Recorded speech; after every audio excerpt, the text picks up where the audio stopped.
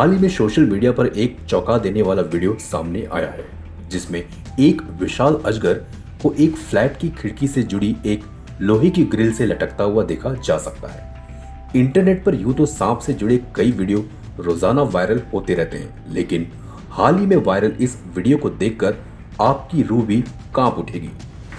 Viral हो रहे इस चौंका देने वाले वीडियो में देखा जा सकता है कि एक विशालकाय अजगर खिड़की से लटक कर बेडरूम में घुसने की तैयारी में था, जिसे देखकर घर वाले दहशत में आ गए।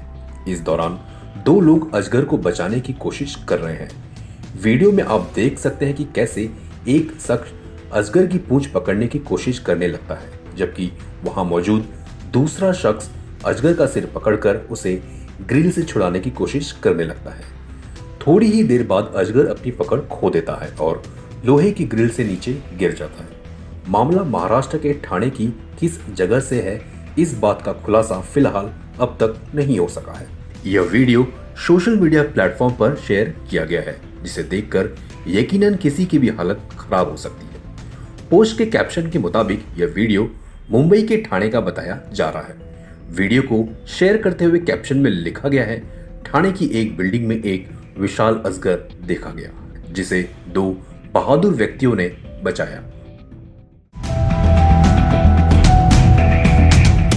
सीईएन न्यूज़ देश प्रदेश की ताज़ा तरीन खबरों के लिए सीईएन न्यूज़ को सब्सक्राइब करें और रहें पल पल की खबर से हर पल बाखबर।